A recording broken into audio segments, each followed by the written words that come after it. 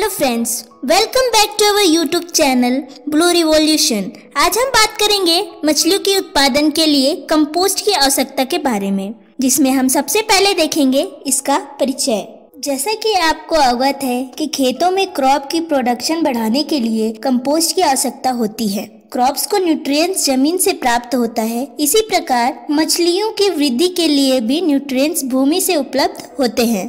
पानी तो सिर्फ़ मछलियों के रहने का माध्यम है। इस प्रकार हम कह सकते हैं कि मछली भी अन्य फ़सलों के समान ज़मीन में उपजाए जाने वाली फ़सल है। मछलियों का मुख्य भोजन प्लैंकटन है, जिनकी मात्रा बनाए रखने के लिए फर्टिलाइज़र का प्रयोग अनिवार्य है। आपने यह अनुभव किया होगा कि जिन तालाबों में मवेशियों को धोया जाता है। उसमें मछलियों की वृद्धि अपेक्षा से अधिक होती है, क्योंकि उनके एक्सक्रीटा आते रहते हैं। इसी प्रकार तैरते हुए बदक के बीट भी तालाब की प्रोडक्टिविटी बढ़ाते हैं। सड़ी गई पत्तियाँ भी ग्रीन कंपोस्ट के रूप में पॉन्ड की फर्टिलिटी को बढ़ाते हैं। सेकेंड मछली पालन के लिए आवश्यक उर्वरक। मछली पालन एक प्रकार का जलीय खेती है, जिन फर्टिलाइजर्स का प्रयोग खेतों में किया जाता है, उन फर्टिलाइज़र को ही मोटे तौर पर मछली पालन के लिए भी उपयोग किए जाते हैं। इन फर्टिलाइज़र को दो भागों में डिवाइड किया गया है। पहला ऑर्गेनिक फर्टिलाइज़र जिसमें सीप गोट पीग का एक्सक्रीटा जानवरों के गोबर एंड ग्रीन कंपोस्ट शामिल होते हैं। सेकेंड केमिकल फर्टिलाइज़र जिसमें urea single super phosphate DAP आदि शामिल है।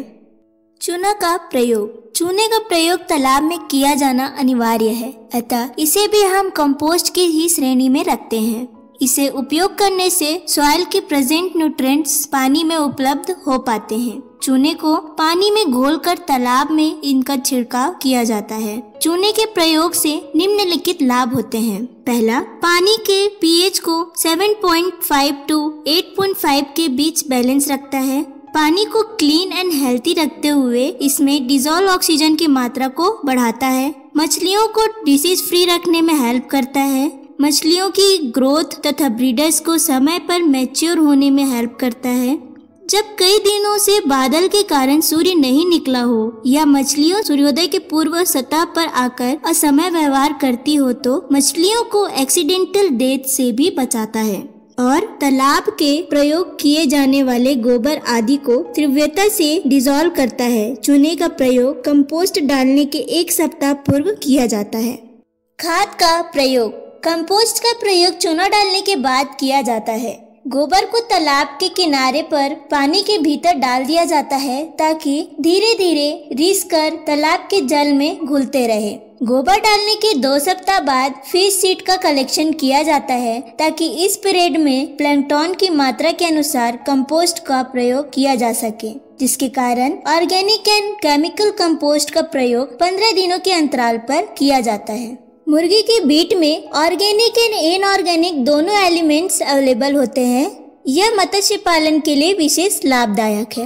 अगर तालाब में पानी की गहराई कम हो अथवा पानी का कलर ब्लैक ब्राउन या डार्क ग्रीन दिखाई दे तो कंपोस्ट का प्रयोग बंद कर देना चाहिए।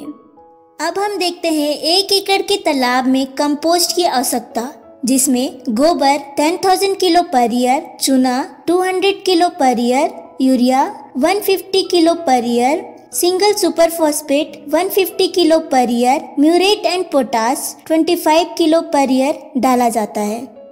मत्स्य पालन में ध्यान देने योग्य बातें। तालाब में मत्स्य बीज छोड़ने के पहले मत्स्य बीज के पॉलीथीन पैक या हांडी को तालाब के पानी में 10 मिनट रहने दे, ताकि मत्स्य बीज वाले पानी और तालाब के पानी के तापमान एक हो जाए। उसके बाद ही मत्स्य बीज को धीरे धीरे तालाब के पानी में जाने दें। तालाब में जानवरों को प्रवेश कराने से तालाब के तल का पानी एवं सतह का पानी मिलता रहता है, जो मत्स्य पालन के लिए लाभदायक है। तालाब के पार पार खड़े होकर तालाब के पानी पर रस्सी पीटने से या तालाब में जाल चलाने से या लोगों के तैरने से तालाब के पानी में ऑक्सीजन ज़्यादा डिजोल्व होता है तथा मछली का अच्छा एक्सरसाइज भी होता है, जो मछली की ग्रोथ के लिए लाभदायक है। दिसंबर माह के मध्य में तालाब में चूना का एक बार फिर प्रयोग करने से मछलियों में सर्दी में होने वाली लाल चकते की बीमारी से बचा जा सकता है।